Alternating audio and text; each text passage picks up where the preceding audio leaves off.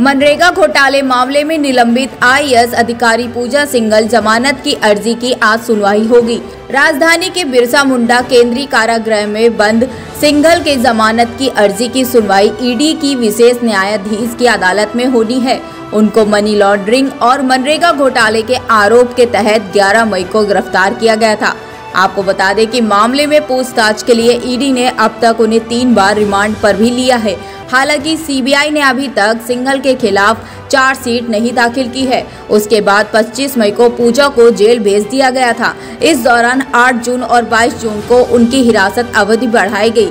उनके मामले की अगली सुनवाई 5 जुलाई को तय है, लेकिन उसके पहले ही पूजा सिंघल ने जमानत की याचिका दाखिल की है। आपको बता दें कि ईडी ने उनके पति के करीबी और सीए सुमन कुमार के घर से 19 करोड़ रुपए से अधिक कैश बरामद किया था। Bureau report IPN